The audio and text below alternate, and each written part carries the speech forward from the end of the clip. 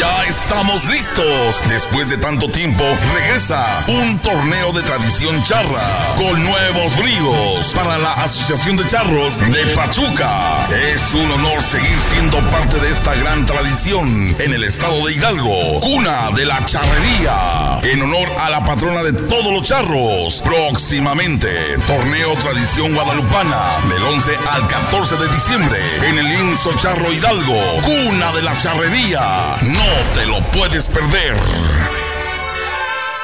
Y el domingo 14 de diciembre nos trasladamos a Lienzo Hidalgo, cuna de la charrería, enclavado en las instalaciones de la Feria de Pachuca de Soto, donde se llevó a cabo la gran final del torneo Tradición Guadalupana que se celebró del 11 al 14 de diciembre, bien organizado por el presidente de los Charros de Pachuca, que José Ocádiz, y el secretario del deporte de esa asociación, Rodrigo Reyes, convocando a 20 grandes equipos de la zona centro del país, quienes buscaban los ansiados tres lugares a la gran final. Y en esta justa definitiva, engalanaron las Amazonas hidalguenses, campeonas del estado de Hidalgo 2014. Asimismo, una escaramuza invitada, nada menos que la escaramuza San Antonio, las cuales son de nueva formación, pero que están buscando el incrementar su nivel deportivo para buscar obviamente un lugar en Querétaro 2015. Y los equipos finalistas fueron nada menos que Sagrado Corazón de la familia Uribe Samperio, quienes clasificaron en primer lugar con 385 puntos, mientras que Rancho Santa Catarina de Carlos Chávez logró el segundo boleto con 333 puntos y los multicampeones del estado de Tlaxcala, ganaderos de Brito, se quedaron con el tercer boleto al acumular 306 puntos. Pero nos vamos a las acciones deportivas donde nada menos que Ricardo Cermeño Rocha arranca desde el partidero montado en esta excelente cabalgadura para dejar 17 metros en tres tiempos. Como podemos apreciar, una excelente huella de cuartos traseros con la cual acumuló 13 adicionales ya que fueron 11 de los metros y 2 de los tiempos. El primer lado que tenemos en pantalla fue catalogado de 3, el segundo de 2, el primer medio fue de 1 debido a un pequeño descuido, pero observen cómo se acomoda perfectamente la cabalgadura,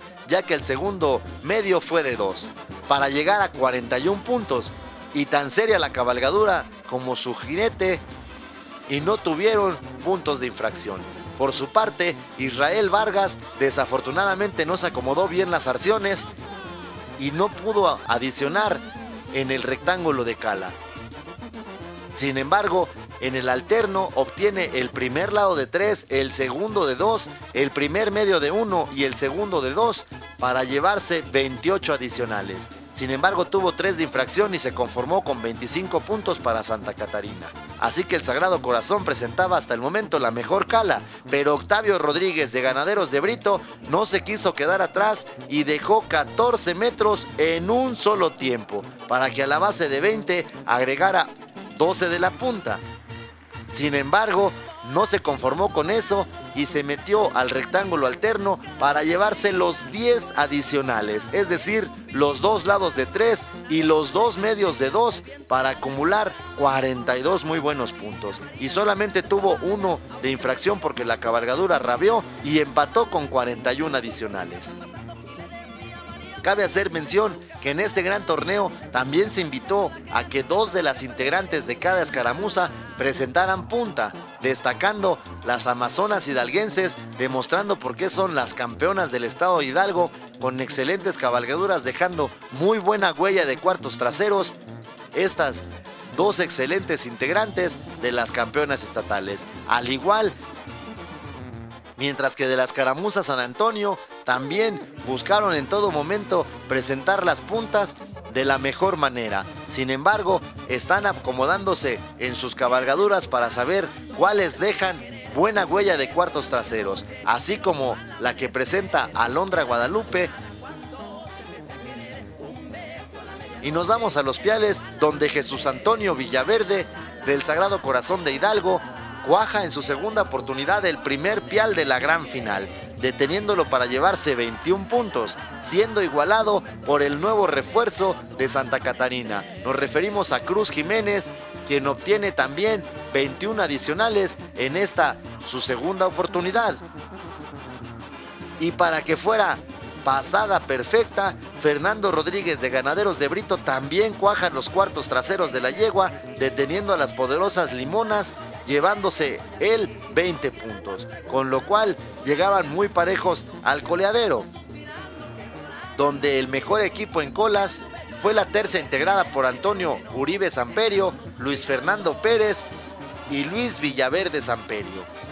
Aquí tenemos a Toño Uribe logrando redonda derecha de 12 en su segunda oportunidad y 27 en sus tres derribes. Como podemos apreciar, excelente ganado de mucha presencia y fortaleza, así como condición física, llevó la organización de Pepe Ocadiz y Rodrigo Reyes, mientras que Luis Fernando Pérez obtuvo 24 puntos y el mejor de la final fue nada menos que Luis Villaverde Samperio, mejor conocido como Chico Luis Samperio, quien logró 30 puntos a pesar de que el primer toro se le vence, pero observen este excelente catorzón en su tercera oportunidad, aportar 81 y cerrar el ruedo con 143, mientras que Carlos Chávez, el eje motor de Santa Catarina, logra redonda contraria de 8 en su primera oportunidad. Raúl Vega Cuevas cierra la participación siendo el mejor del equipo con 24 puntos, con esta media derecha de 10 y uno de distancia para 11 unidades.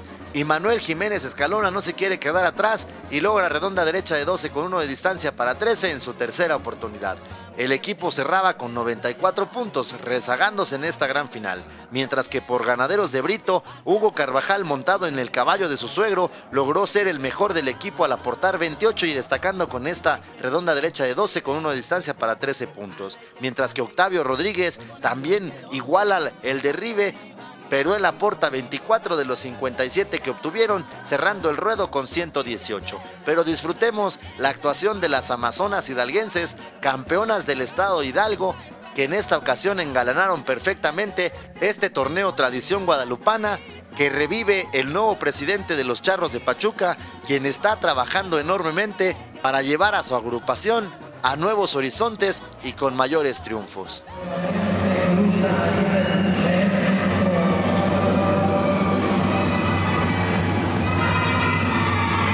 Haciendo la coladera,